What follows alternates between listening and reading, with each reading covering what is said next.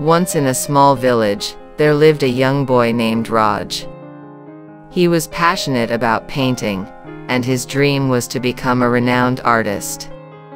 He would spend hours every day sketching and painting, but his work was far from impressive. One day, Raj heard about a famous artist, Mr. Patel, who lived in a nearby town.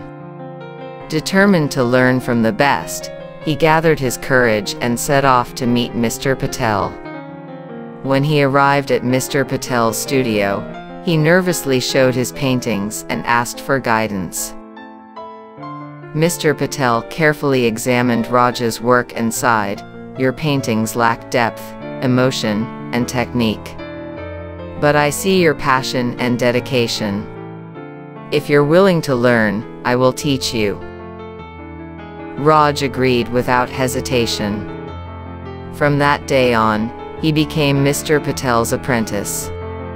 He woke up early, practiced tirelessly, and absorbed every bit of knowledge Mr. Patel shared.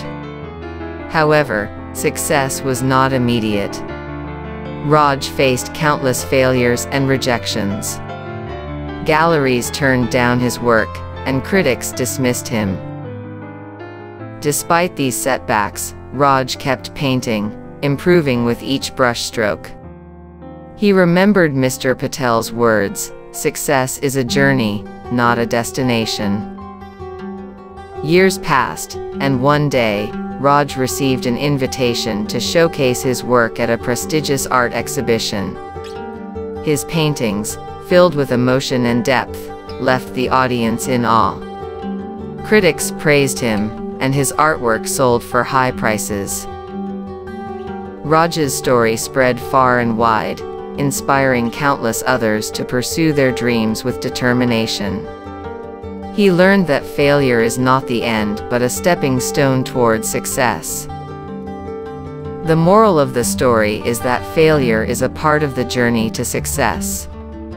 Raj's persistence and willingness to learn from his failures eventually led him to achieve his dream of becoming a renowned artist, showing that with dedication and resilience, anyone can turn failure into success.